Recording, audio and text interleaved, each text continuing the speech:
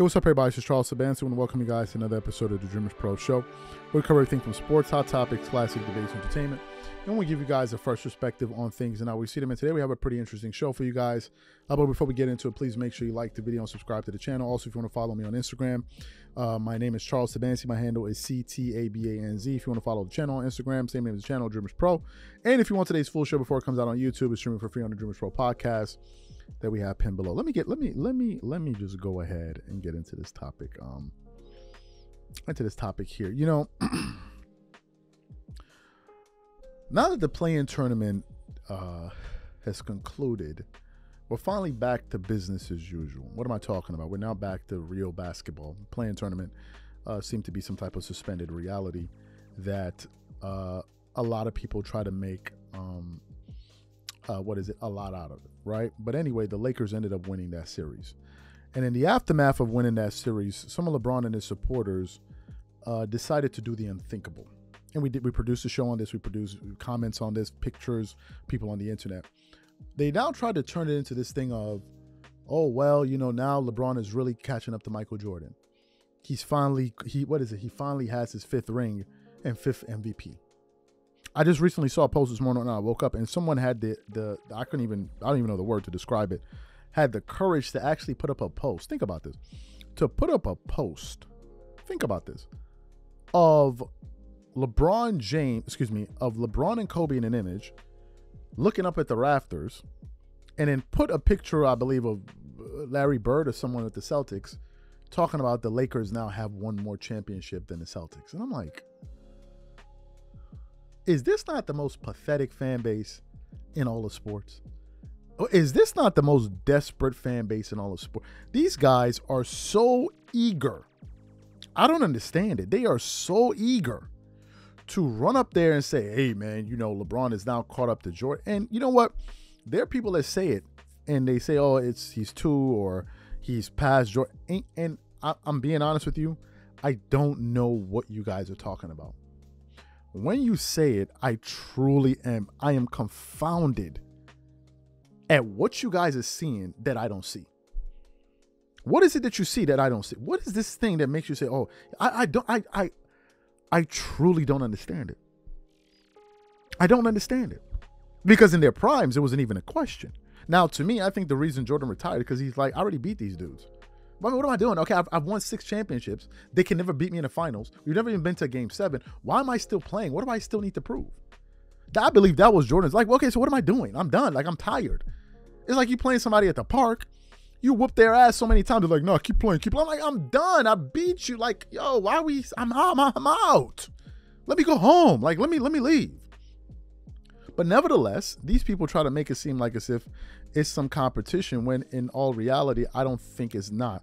I don't think it is. So I came across a stat, a few stats uh, that I want to share with you that to me explain, perfectly explain uh, why this thing um, uh, is an absolute joke. But uh, before I get into that stat, I want to refer to a post that we published on the channel about, let me say, two hours ago.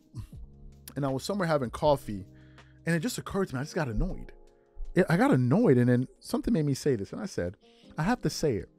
Do you realize that every single year, a LeBron team when it a LeBron team when it underperforms, there's always trade talks. Every single year for like the past 10 years. Now this year is the same thing. If he's so great, why can't he get it done? LeBron is the only top 5 player that has been a part of like a million trades. The whole conversation about the Lakers now is who can they trade for? I challenge you to find a season over the last 10 years where this has not been the narrative. And when he loses, is always the coach, coaches, or his teammates. It's never him. Like, damn, you want everybody? Ain't you the GOAT? This was something that was bothering me, and I'll tell you why it was bothering me.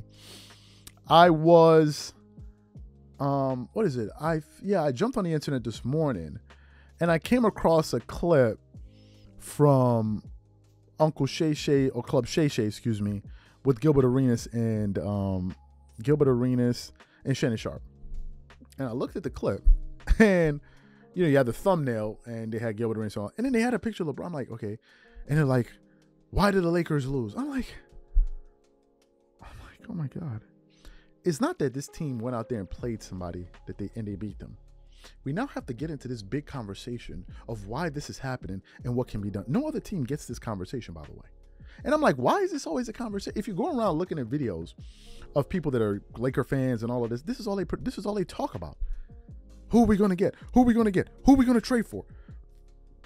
Can it be Zach LaVine? Can we be this guy? Can we trade the coach? Can we trade Jeanie Buss? Can we trade the mailman? Can we trade? It's always about who can we trade. The minute losing occurs, it's either who's going to get traded, or it's the, imagine, just imagine, you're someone that covers the Lakers.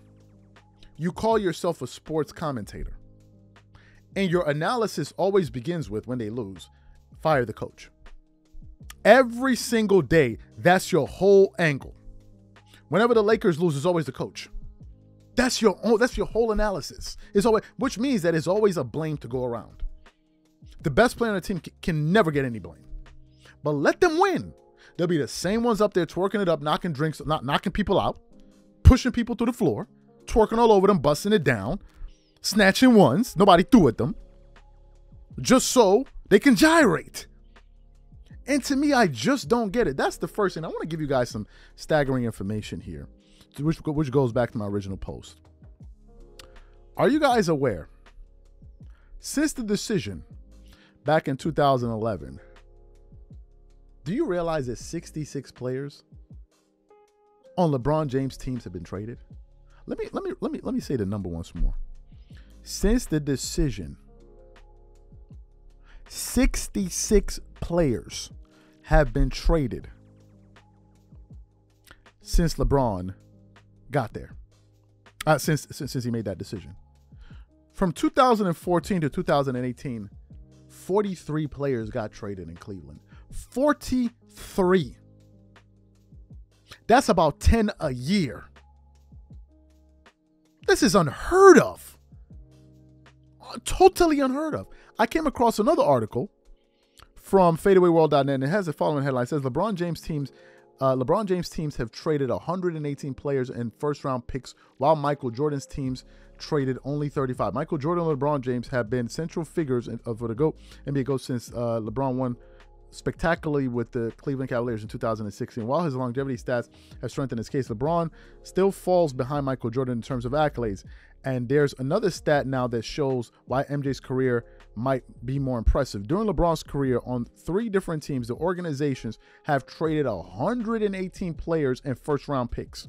This is a whopping 83 more than Michael Jordan. Some of it can be put down to longevity. LeBron has played five seasons more than Jordan did, but the difference is still too high. This shows that LeBron's teams have made a lot more moves to help him in comparison to Jordan, whereas uh, and Kobe done it uh, 50, uh, 56 times, and LeBron has and and uh, and uh, Michael Jordan has done it 35 times. And again, we're about the witnesses, and I don't even think that I don't even think this list is updated. This article was published July 24th. There's going to be some more movement this year again. And and I don't I don't understand why this is always a conversation. Why is this always the default conversation? I don't really really understand it. I just don't understand it. And with all of these trades, I want to give you guys some information. Do you know that? This is a fact. Do you know that? Kobe Bryant and LeBron James have lost at least, hear this, hear this very well. Kobe Bryant and LeBron James together have lost at least nine playoff series hear this nine playoff series when they played with at least one All Star. You aware of this? Kobe Bryant, my favorite player of all time. Let me throw him in here.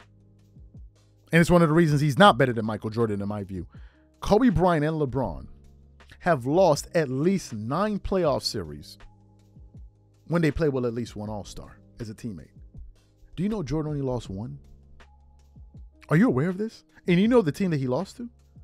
was Shaquille O'Neal's Orlando Magic with Penny Hardaway and these. That's the team he lost to. I think Horace Grant was on that team if I'm not if I'm not mistaken. That is all. So how you guys think? If you ask a typical LeBron fan how to explain why he thinks he, he's better than, no, they can't have any sensible argument. They can't have any sensible argument. And what I don't get is this. Uh, in closing, these gentlemen always sit up here and, and count, hey, how many videos have you produced on LeBron? And I'm trying to figure out when did you and I sit down and incorporate Dreamers Pro for you to be asking me how many shows I, I produced? And the thing I don't get is a lot of the creators that you support who sit up there and twerk it up and pour honey all over their stomachs every single day for LeBron. Yeah, I don't be seeing you dudes in the comment section asking them how many LeBron because they're only saying nice things. That's it's not about me talking a lot about LeBron. It's me not twerking. So what I ask you guys is the following because there are people. Let me say this: there are people in the sports media uh, pay, uh, space. A lot of them. Uh, um, I think uh, what's one of them? Of course, Too Raw, uh, uh, uh, Ticket TV, to, Ticket TV. You have, I think it was basketball, fitness, and uh, no, no, no. I think it's basketball facts. You have NBA rants or something. I forgot the other guy. He's from New York. He's he's a light skinned dude. But there are a few of them, and I'm trying to think who is who are the channels that are, have let's say about 150 plus subscri- thousand subscribers that are talking the way we're talking. Name list them, and then let's go through the channels that have at least 100. Forget about 100. I even went too much. Start from 50 and go all the way up. Nah, forget about 50. Start from 20 and go all the way up. Then all they do is sit up there and twerk it up all over the place for LeBron every single day. Why is it when it comes my turn, I got to stop? I don't be seeing you dudes running over there counting their videos, so why are you counting mine? I don't understand this. You're talking about, I have a chronic issue about talking about LeBron, yet you're here. So how do you know? You know, when I was single once, I asked a girl, she's like, why are you looking at me? Why are you looking at me? I said, how do you know I was looking at you? hey, why are you always looking at me? I asked her. I said, how do you know I'm looking at you? How do you know I'm looking at you? You'd have to be looking at me, right? for me to for you to understand that I'm looking at you. So how do you guys know this? I can get rid of you dudes. You're like a toilet that won't flush. You're like a toilet that will not flush. All they do is sit there and count the video. And I'm trying to figure out when did me and you get into a contract for you to count how many? And if I talk about LeBron for the next 30 videos, what does it have to do with you? What does it mean that I talk? So what if I decide to? I can talk about him as much as I want. I'm trying to figure out how is it your business? Look, look, he spoke about, let me count, one, two, three, four, five. Guys, what do we say about this? Why is he talking about him so much? I'm like, why is this your business? What's wrong with you people? So to me, listen, um, uh, you know, it, it, it, just never ends. And if this is bothering some of you guys, we know we're doing a good job. We know we're doing a good job because there are people that are, quite frankly, sick of it. Do you know how much of a cornball you got to be to post a picture of LeBron and Kobe Bryant standing looking up at the rafters. Do you understand the level of a Pop Tart you got to be? To post a picture of LeBron and Kobe looking up at the rafters, you got actual banners. Then you got that parking ticket hanging up there that they call an in season ban. That's what I'm to call it a parking ticket hanging up there and then you're gonna put it next to the balls. Look, look, we got one more champion. Do you realize the type of pop tart cornball you got to be to do that? And the part that kills me is this, and I gotta close with this. Since when do you guys start copying my lingo? Like, yo, son, get off me. You biting my like y'all biting me like a shark. Like, yo, get off of me. Now y'all copying my lingo, using it back at me in the comments. Look, he's a cornball. He's a dweeb. Like, yo, get off of me. God, like, get off of me. Like, god damn. Get off, get off of me, man. I gotta throw some raid on you or something. These cockroach, like, get off of me. Golly, I don't know what to do. I don't know what to do, but the Jordan fan, Kobe fans, I got you. I got, I'm, I'm, I'm gonna say my piece. And they're gonna feel any type of way that they want to feel. You know what I mean? Because they're gonna be here. These are my thoughts. Whatever you guys think, please leave your thoughts and comments in the comment section. We catch you guys on the next show. Peace.